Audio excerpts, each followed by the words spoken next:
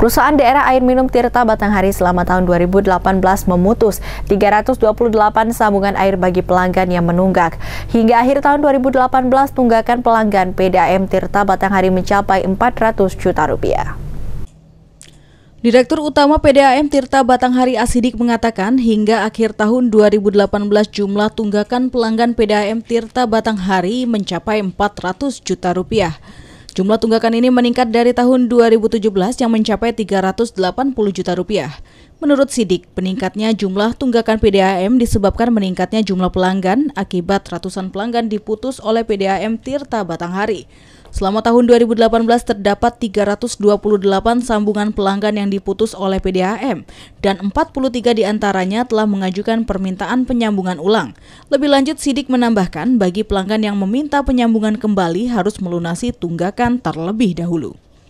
Yang diputus 2018 akibat tunggakan itu lebih kurang 328 sambungan rumah hmm. yang tahun 2018